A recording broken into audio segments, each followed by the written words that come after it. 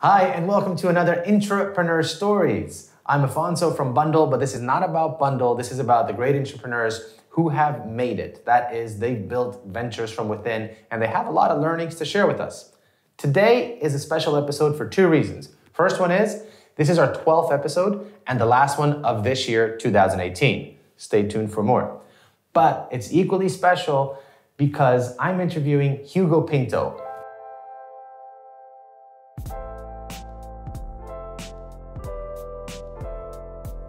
Or in Portuguese, like myself, Hugo Pinto. We met in London a few months ago, and I was sure Hugo was an intrapreneur, and it turns out he is. He's going to introduce to us the venture that he built at Telefonica Digital. Now, there's three reasons why I want you to stay tuned and listen to this story. The first one is the insight came about when Hugo was performing his current role at Telefonica. Second, it is today an established business at Telefonica. And three, the journey seems fascinating because, in his words, he was looking, he was like a blind man in a dark room looking for a black cat, and guess what? The cat wasn't even there. I have no idea what that means, but it's gotten me really, really keen on wanting to know more about this story. So I'm going to put my headphones on and get chatting to Hugo, who's calling in from London today. Hugo, hi. Hey. How are Good you? to be here. I'm glad. I'm glad we're talking about this. Now, I understand that today you are managing director of Accenture Digital. You are a startup mentor, a startup advisor, and a plethora of roles. But today we're focusing on this specific corporate venture that you built, mm-hmm. the Blind Man in the Dark Room. Tell us a little bit more about a what role were you doing? What was that insight? What is that business? And how was this journey difficult or challenging? But you came through on the other side of that dark room. Yeah, my my pleasure. Um, after a lot of bumps in my head, by the way. But um, so it, it, it was it was interesting because I, I was um, at Telefonica Digital and I was um, uh, in charge of, of digital internal digital communications platform, etc. And um, Telefonica Digital became this um, sort of a monster entrepreneur, entrepreneur actually, with 13 businesses uh, spinning off of the mothership and trying to build these new business models, right?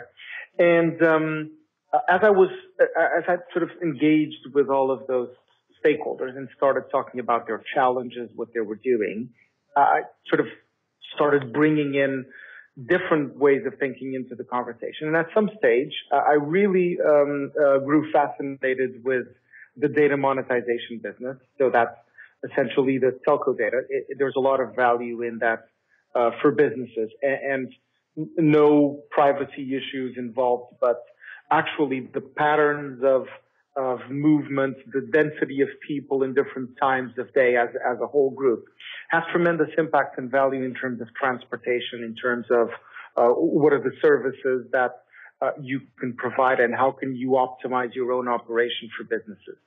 And uh, because I've worked in a number of, of sectors before, I sort of got talking to the, the so a couple people in the leadership of that business. And they thought, well, actually, Hugo, we're looking for someone to help us build a go-to-market strategy and a team that can help us communicate what you just helped us define across different cultures. And that was the, the sort of way in. It was the fact that I was Portuguese, had lived in Spain and worked with Latin America quite a lot. Also worked with uh, Nordic countries and in the UK more specifically. And um, I think the skill set that they saw, that they saw, apart from the fact that I had a lot of experience in digital businesses and uh, entrepreneurship, was actually being able to decodify and understand what are the nuances of all of those cultures and how does something a bit controversial and a bit risky like this of monetizing data, of applying things like um, uh, AI and, and, at the time a lot of um, uh, smart analytics to make a difference for other businesses was different than selling SIM cards and getting people on their uh, phone contracts. So I absolutely loved it.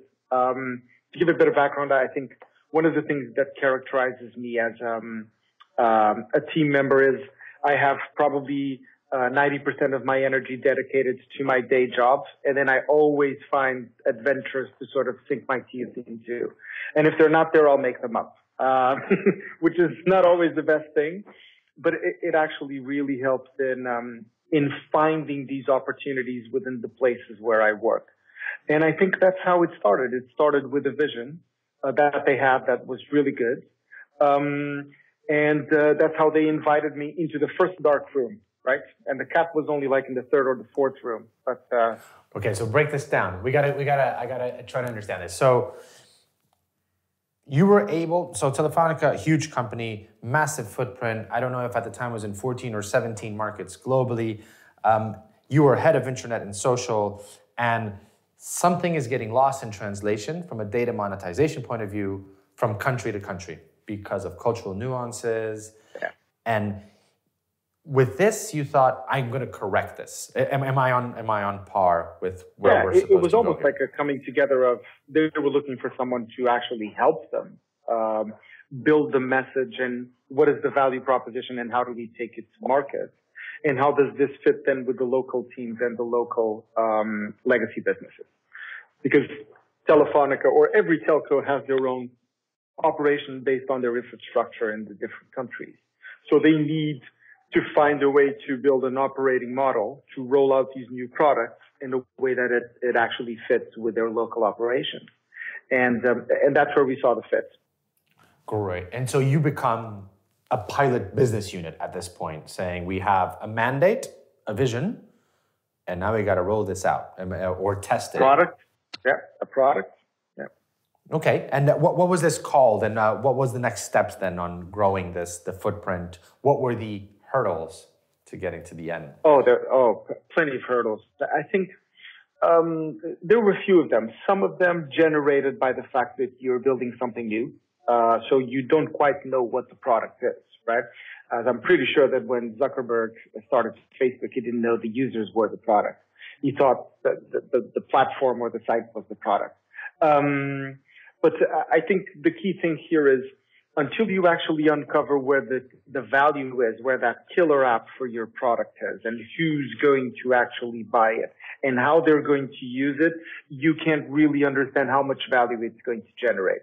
So I think the business was in this mode in which it had a lot of clever people from different industries that knew there was tons of value. And this is 2012 when there were a lot of sentences coming out saying things like data is the new oil, et cetera, et cetera right?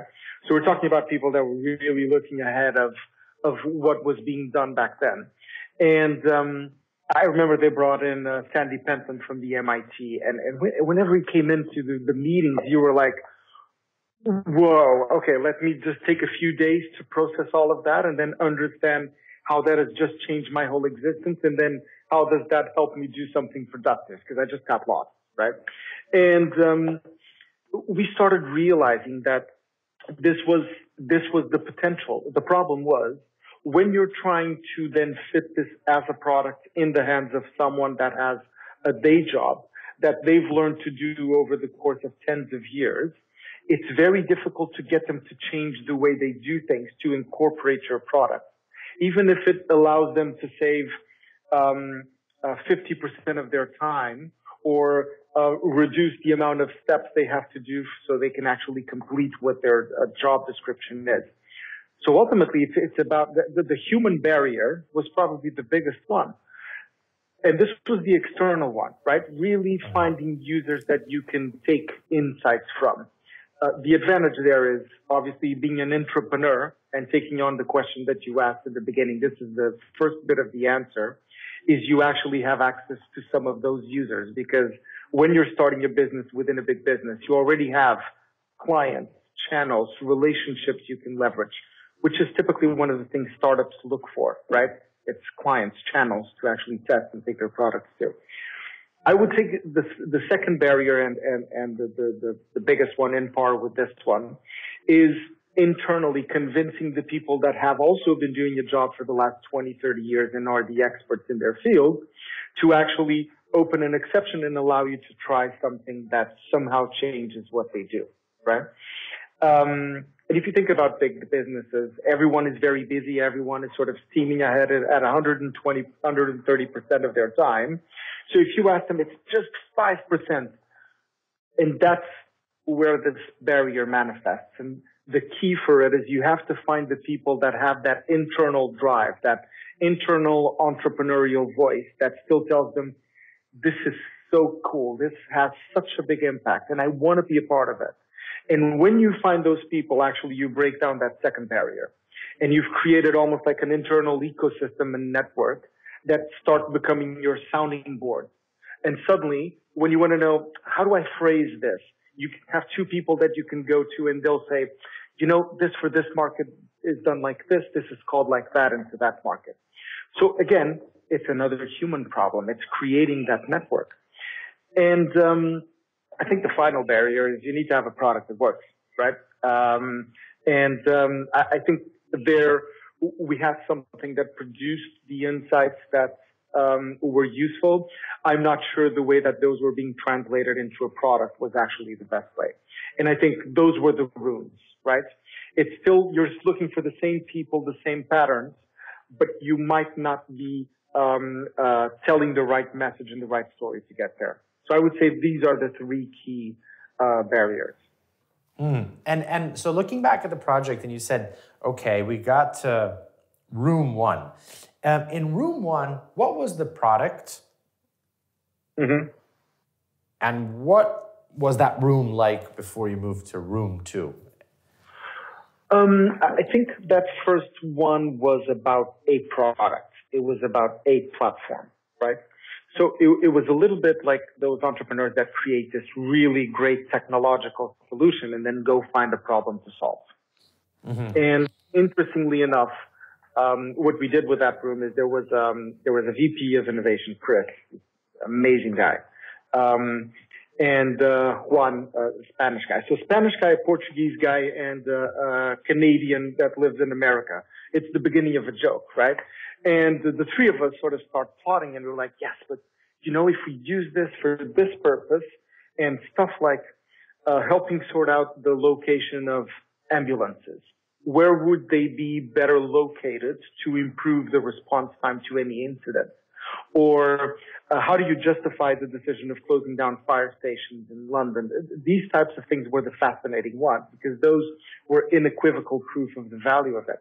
So we go off on this innovation rampage and we sort of start taking these ideas and we then had Juan, the data scientist, crazy head of data science, that sort of did everything and he did the data science and the website and the demo and the video and he came to the pitch and we start talking to all of these people and suddenly you start uncovering nuggets and the biggest nugget of all is it's not really about the platform it's about the insights you can get through the platform but some people will not add a new tool to the suite, suite of tools that they already use to do their job so it's how can you create those insights make those insights available without forcing them to go through a tool, right? That gets us into room two, which is what are the services and how do you shape those services? Okay, so now you're room two, you're shaping the services, you're understanding that there is a back engine of all this great data, but that's not what the users are looking for. They're looking for actionable insights. Yeah. So at this point in room two, now you understand the user validation and you look for more validation, right, um, of people who would adopt this. And at this point, what, what is the product called at this point? Is it a working name? Is it a, a... Uh, Dynamic Insights? I think. I think that was Dynamic. from the beginning. The, the, the company was called Telefonica Dynamic Insights.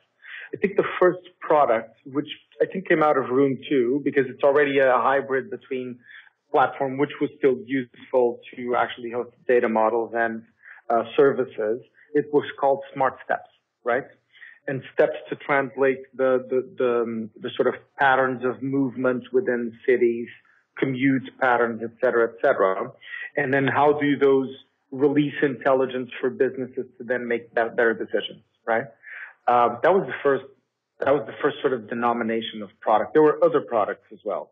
Um, but that was sort of the core product and the one that then got us into the, the second, uh, testing ground. And if we're now in room two, Um, and we now have a commercial relationship with clients. We're actually starting to get some revenue in. We're actually starting to build a sales force. Um, and, um, and now again, as I start engaging with, with those guys that have actually been providing a lot of data services to a lot of our customer profiles, they all start bringing in insights like, well, you know, but this doesn't happen in isolation. So what are the other things that we can mix? And suddenly it's not about the insights generated by us. It's about the insights generated by us along with other data sources and in a, a slightly different context. So it opens up for me what is the biggest cultural barrier of large organizations, which is any business model in the future does not happen self-contained. There is no one company that is going uh, to own everything. There are companies that are going to orchestrate the right points of, of value and then be able to uh, articulate them properly to users or customers. And I think that was the big realization that then gets you out of room two and into three or four different rooms. Because now the rooms are actually have a cat, but now you need to find and grab that cat, and then you need to find the light switch to actually understand what is this and what do I do with it. Um, and I guess at that stage is when I sort of, I then left and I, I then joined IBM after that. Um, but funnily enough, before the product launch that we did was in um, in partnership with the Open Data Institute. That gave us that expanded lens around what is the other relevant information to know what comes before our value bit and what comes after we've done our value um, bit. And uh, with with companies like IBM to bring in different lenses and different minds to actually figure out is there something we're missing? Because we're just a group of, and at the time I think there were a hundred, a hundred of us. So it, it had grown from 30 people to 100 people. And still it's not big enough for you to actually see all of the potential avenues where that idea can take you to. Because I think the problem with being an intrapreneur versus an entrepreneur is you create this tunnel vision and you start ruling out possibilities because, oh, that's too much far away of our comfort zone. So it's going to be difficult to get the company to actually uh, do this. And, and, I mean, what was really grand in all of this is the, the, whole team was working together to this. And there was a constant communication and, and Steve, the, the, the, lead of this initiative, constantly did, Hugo, we need to do a whole hands call. Let's get everyone, let's share what's happened and this happened here, can't happen there. And, um, it was really interesting because I think what Telefonica did, and some initiatives went better, some went not as well. Um, I think was they proved that whenever you get people with the right ideas, working in the right operating model and mindset, um, with access to all of the assets that that these companies still have, and now I'm talking about telcos, uh, auto companies, energy companies. They still have a lot of valuable information but they need to open up and they need to start bringing or creating these teams that have a little bit of free range to actually go out and experiment. Um, the learnings of, of that experience were, were, tremendous, right? And if I had a big background in terms of uh, entrepreneurship, uh, I started a digital agency back in Portugal, Excedo, and um, I helped spin off a couple of, of business models out in, in MTV. Um, I think that one added wow, this, this is the potential of data and technology together reinventing what the role of these big organizations are. And that definitely changed my perspective of when I walked into IBM of what, what my job was going to be. Okay. And um, I want to just um, kind of wrap up this great venture that you were part of building. And was it called Smart Steps in the end? The product? Was, yeah still there. Yeah. It's Smart Steps. And is it a B2B facing channel? Yes, B2B. Yes. So correct me. So after hearing you, you know, my mind is floating around. Let's say I have a corner shop and I know that commuters will stop and buy water every day at 8 a.m. You provide me a data of how many commuters are passing through my corner shop and how much water I should have to sell to them. But what if, in addition to this, trains don't come in that day, or there's a strike, and what are the data implications to my business? Or there's a heat wave. Or there's a heat wave. So this is what I'm thinking, right? And that, that's what you did. That's Amazing, exactly it. So, fascinating, so think steps. about um, at what time do I open in different days of the week? Uh, what are the products that I put on the on the window of my shop that are going to have the biggest impact that day? Um, how do specific events affect um, my business, and how do I plan for it? So there's and even how do I open up? Sorry, I'm just gonna turn the lights on again, probably or not. Um, You're still there. How-. I'm still there.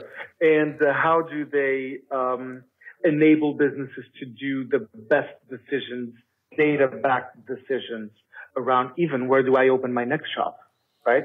Because is it on one side of the station, on the other side of the station? And and the, the sort of dodgy threshold you need to get across is like the the, the, ta- the taxi driver syndrome, right? Versus Google Maps, and they say, yeah, Google Maps says go there. I, actually I know this way is better. So all of the experts in the industry, they are going to say, I know better because I've done this tons of times, right? So that's the threshold you have to go. You have to be able to tell them one different thing that actually triggers a different outcome to get them convinced. So I think going through the dark rooms, you only light, you the, the, the way you uh, light that switch is when you actually are able to prove this um, to someone in the industry. And after you've done that, I think it's it's it becomes a no-brainer and it becomes a clear a clear opportunity. Cool. And just looking at the more like 50,000 feet overview of this, this was a three year project, I believe, right? Uh, Uh, it took a couple of years. A couple of years. And, oh, and um, would, what would you have spent more time doing in terms of building a venture within a corporate? If you, you could go back now, is there anything you would have done a little bit more? I would. Um, I would have formalized those experiments to happen earlier. Uh, I think it, it, took us a little bit of time to actually put things in front of, of actual users and clients. And I think if the sooner you do that, the quicker you get the insights that actually detect what those, those killer functionalities are of your product and what the real potential is. Um, definitely that would have been something that I would have done. And funnily enough, that was such an important insight that the, the way that I now help clients build their approach to uh, transformation and digital transformation is exactly that. Don't build a three-year plan. Build a set of experiments you run over the course of a few weeks that give you a sort of a, an in into the playing field to actually feel, well, there's something not right here, or whoa, this is a much bigger opportunity than I expected. And um, increase incrementally. Don't put all of your eggs in one basket and then, you know, just wait a few months and chicks come out. It doesn't happen like that. Um, the other thing is, and this is very specific uh, to working with data, the sooner you get the end users involved, the quicker you'll get them to actually realize the value and be your Mhm. advocate, right? That is so important. It's totally different to have to go try and sell an idea to someone than to get them to co-create with you and then it becomes your joint project. I couldn't stress this enough. This is super important. Um, yeah, I think that's That's great. And I want to just ask you two things about entrepreneurship itself, which is the first one, and the first question actually comes from Kenny Hendricks from Telenet, who we previously interviewed on The Park, which was actually an initiative between Bundl, uh, where we participated with Kenny on building The Park, um, a Telenet venture. And he's left a question, which is what makes it different and an advantage for intrapreneurship versus entrepreneurship? You focus on a few points there, but it'd be great to encapsulate that into an answer if that's okay. Um, I will go back to uh, marketing theory from uh, Philip Kotler, right? Um, your your advantages are also your potential threats, which is the fact that you have access to all of that information and all of those customers or users is also your biggest liability because there is risk involved. So to convince people to take risk is actually a big task. Uh, so it comes back to actually spending time with people is the most important thing and understanding how you can turn um, uh, people that don't believe the concept or want to oppose it or resist it into advocates is your biggest weapon. Because if you convince two or three right people and one gives you access to resources, the other one gives you access to infrastructure, the other one gives you access to clients, you have the right ingredients you need to actually go and build the proof that there is something there. And the beauty of when you build proof is, I love this Portuguese sentence, right? Contra factos no argumentos. Against numbers, you can't really argue numbers because numbers are numbers. If once you've proven it, it's just a matter of multiplication or, or, or addition. So um, getting through that, that is the key thing. And that is what you have um, streamlined being a part of a big organization that has a commercial operation running. It's also what makes it the most difficult is convincing those people to be a part of that experiment and, and give, give you their 5% on top of 120. That, that's great. I mean, I can totally see that you're an optimist, and I'm using this to lead into my last question. And I say you're an optimist because you said addition or multiplication. You didn't say subtraction, subtraction or division. So let's keep going forward and in a, a growth pattern. And that's my last question. And it kind of goes back to how I knew just from meeting you that although yes you are at accenture and you said and i just knew you were an intrapreneur so my question is what makes intrapreneurs stand out? What is this their skill set or mannerism or the way they navigate within a corporate company that they just stand out that they're fighting for something which I wouldn't say is against the grain, but there's something there. Can you kind of just elaborate if you think there are certain skills or just certain pulls of energy that you have that just yeah. differentiate the intrapreneur? Again an analogy. It's a bit like the the sentence in the Matrix, when uh, when Neo is being tortured by the agent and he says humans are like a virus, right? Actually, I don't think humans are a virus. I think ideas behave like viruses. So I think you need to be contagious in the way that you tell your ideas. You need to find what is that specific data point that is going to make someone into a believer and if you're able to empathize with people at that level, they will understand what you're trying to achieve. And even if they don't want to take an active role in it, they will, they will even collaborate or, or just stand aside if they don't want to stand in the way. Um, the, the other one is, um, you just need to talk, talk, talk, talk, talk, talk, talk, communicate, communicate. Over communication is better than no communication or not enough. Uh, and I think that enables you to find it's it's a it's a, an iterative approach. It's a it's um, uh, a failure uh, learn through failure. But you have to find the people that have the same mindset and get them aligned into your cause. And um, the third one is actually be focused on the outcome. You have to relentlessly stay focused on on a specific outcome. And what I mean by this is narrow down the thing you're trying to do to the easiest demonstrable outcome that you can use to convince someone that it's real, that it works, right? So trimming down your experience. I mean, a good example, right? This product is a global product. Uh, are we going to launch globally just like anyone else? Or are we going to need to spend a lot of money marketing to get users attracted, right? So let's narrow it down to a country. And then for a specific country, does that country have specific traits that make one country more attractive to other? Are there regions where there's a bigger concentration mm. of those audiences you're chasing? And then within those regions, are there profiles within those companies that are more susceptible or that get most value out of it? And then within that, is there a privileged group you have access to? So if you narrow it down to that, now you have a group of 20 people that you can go and have a coffee with and show them a prototype and get them thinking, oh, oh wow, if I had this, I could actually do this 10 times faster, or I could do this two times more accurately. I want to take this and I want to show it to my boss. And you have a, you have a thing there, right?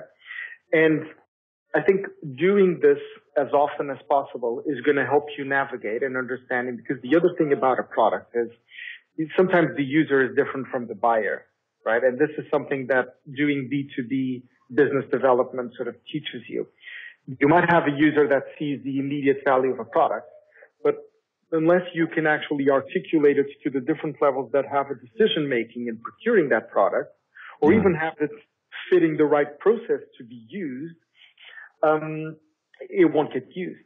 So hacking is not just hacking the use of the product. It's hacking, making it really easy to buy, right? Or as I, I like to say, difficult to not buy, right? It's mm. so easy, you, you, can't not buy, or at least not try. And the, and the trying is the, the other key factor. Once people see something that they really want, they won't let go, right? And uh, for instance, at, at IBM and, and Accenture, I've ran a numerous amount of workshops with people.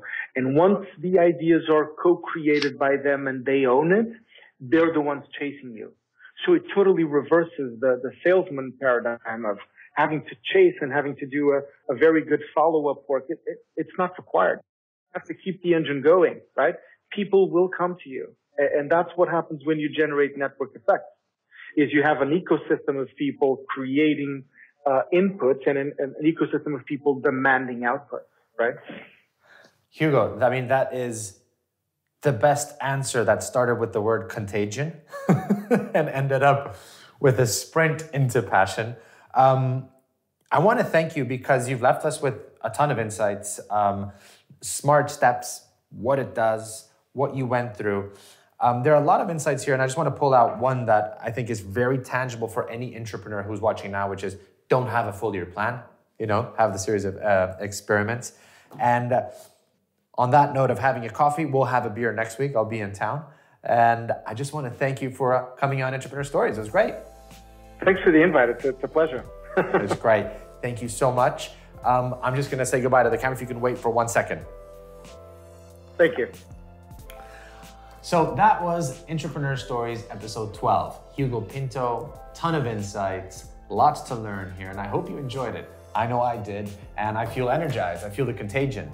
With that in mind, this is the 12th episode and the last one for 2018. We are revamping, rethinking the format, may change, may not, but you know that you can stay tuned. We have podcasts on Anchor, we have the YouTube clips just leave us questions, suggestions. We're to come back with more from Bundl and Intrapreneur Stories shortly to you. Thank you.